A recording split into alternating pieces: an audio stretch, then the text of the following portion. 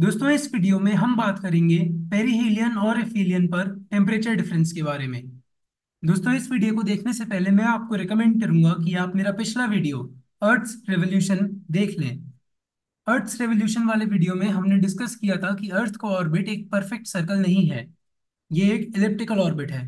इसकी वजह से अर्थ का डिस्टेंस सन से वेरी होता रहता है। जनवरी के टाइम पे पेरिहीलियन पड़ता है जब अर्थ सन से सबसे ज़्यादा पास होती है और जुलाई के टाइम पे एफिलियन पड़ता है जब अर्थ सन से सबसे ज़्यादा दूर होती है। पेरिहिलियन यानी कि सबसे पास, एफिलियन यानी कि सबसे दूर। ये डेट्स एक दो दिन से आगे पीछे हो सकती हैं बट ये मोस्टली यही रहती हैं। दोस्तों, आप यही एक्सपेक्ट करेंगे कि जब अर्थ सन के पास हो, पेरिहिलियन पे हो, तब सन से पास होने की वजह से वहाँ पे टेम्परेचर ज़्यादा होना चाहिए या वहाँ पे ज़्यादा गर्मी होनी चाहिए। और जब अर्थ सन से ज़्यादा दूर हो, तब वहाँ पे सन से दूर होने की वजह से टेम्परेचर कम होने चाहिए और गर्मी कम होनी चाहिए। मगर ऐसा नहीं होता है।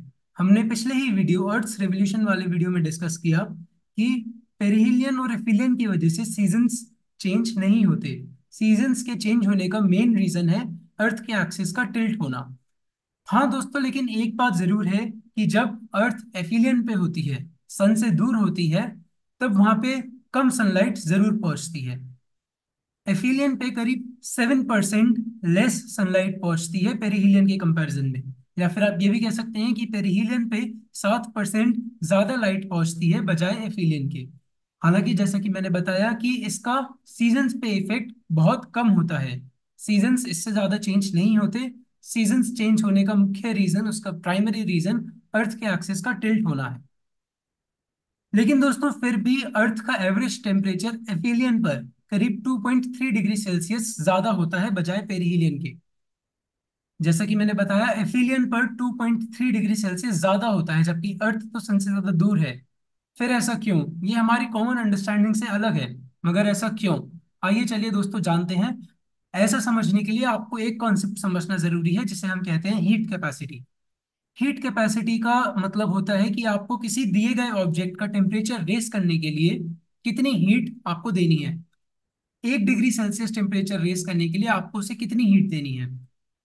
जैसे कि आप मान लीजिए, या तो आप पत्थर रॉक या कंक्रीट ले लीजिए। आप देखते हैं गर्मी में ये बहुत ज़्यादा जल्दी गर्म हो जाते हैं। आप कहीं सड़क पे नंगे पैर चल रहे हो या किसी मंदिर में चल रहे हो या आप स्विमिंग पूल का एग्ज़ाम्पल ले लीजिए। स्विमिंग पूल के आसपास की जो ज़मीन होती है, वो एकदम बहुत गर्म हो जाती है और पानी इतना ज़्यादा कंपैरिजन में गर्म नहीं होता।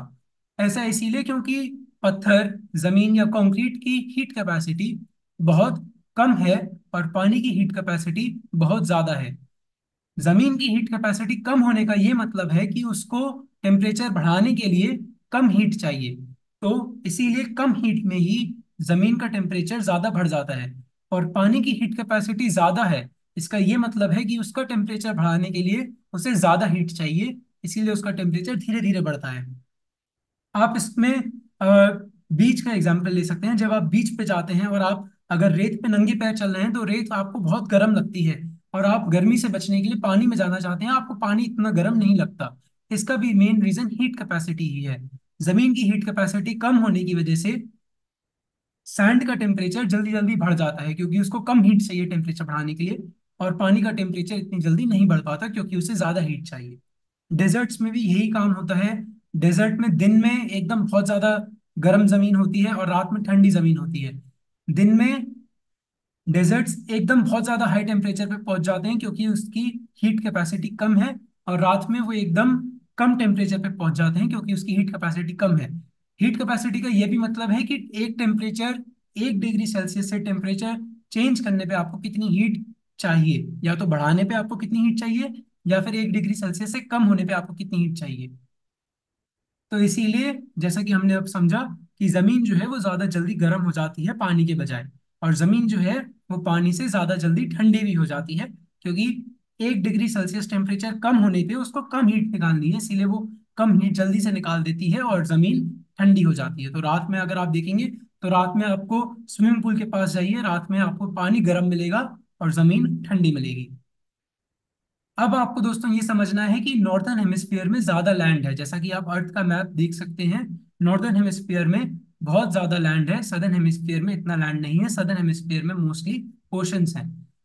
तो इसीलिए हमने जब समझा कि जुलाई के महीने में जब अर्थ सन से सबसे ज़्यादा दूर होती है, जब एफिलियन होता है जुलाई के महीने में, तब नॉर्दर्न हेमिस्फीयर में गर्मी होती है। तब नॉर्दर्न हेमिस्फीयर सन की तरफ़ टिल्टेड होता है, जिसकी वजह से सन की डायरेक्ट रेस नॉर्दर्न हेमिस्फीयर पे पड़ती है।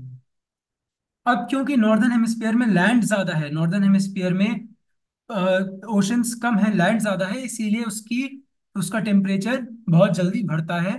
उसकी हीट कैपेसिटी कम होने की वजह से, जैसा कि हमने समझा। तो इसीलिए जुलाई के महीने में नॉर्दर्न हेमिस्फीयर में लैंड ज़्यादा होने की वजह से और लैंड की हीट कैपेसिटी कम होने की वजह से टेम्परेचर्स बहुत जल्दी बढ़ते हैं।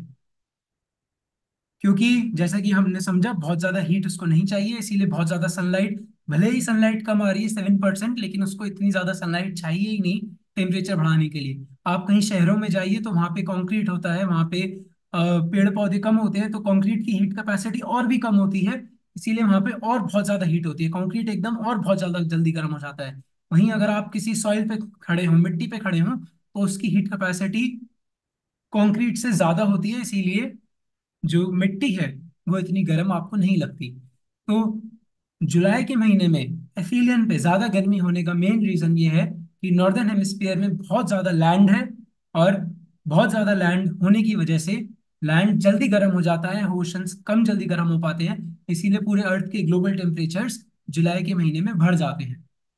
जब आप ये कॉन्सेप्ट समझ चुके हैं, तब आप अंदाज़ा लगा सकते हैं कि नॉर्दर्न हेमिस्फीयर की जो गर्मियाँ पड़ती हैं, वो सदर्न हेमिस्फीयर की गर्मियों से ज़्यादा गर्म होती हैं।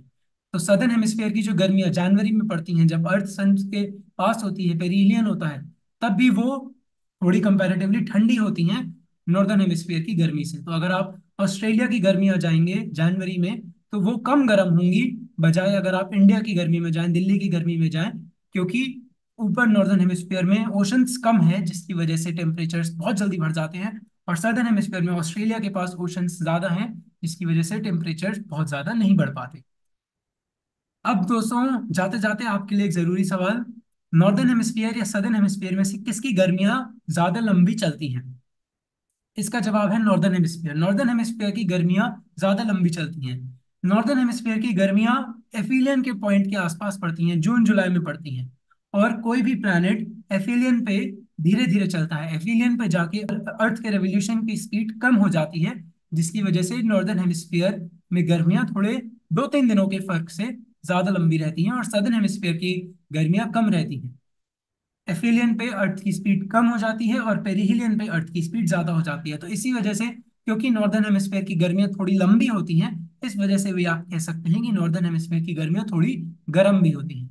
लेकिन नॉर्दर्न हेमिस्फीयर की गर्मियों के ज़्यादा गर्म होने का मेन रीजन लैंड का बहुत ज़्यादा होना है और लैंड बहुत जल्दी गर्म होता है क्योंकि उसकी हीट कैपेसिटी कम है। तो दोस्तों, अगर आपने इस वीडियो में कुछ भी नया सीखा तो इसको लाइक ज़रूर करिएगा। मैं एक्सपेक्ट करता हूँ कि आपको ये कॉन्सेप्ट अच्छा लगा होगा, आपको ये समझ में आया होगा, आपने कुछ नया सीखा होगा और आपको, आपके जो नॉर्मल कॉमन अंडरस्टैंडिंग होती है कि अगर अर्थ सन के पास है तो वो गर्म होनी चाहिए, उससे भी आपको समझ में आया होगा कि ऐसा नहीं होता है। और भी कई सारे फैक्टर्स होते हैं जो कि इन सब चीज़ों में कंट्रीब्यूट करते हैं। तो दोस्तों, ये वीडियो देखने के लिए आपका धन्यवाद। Thank you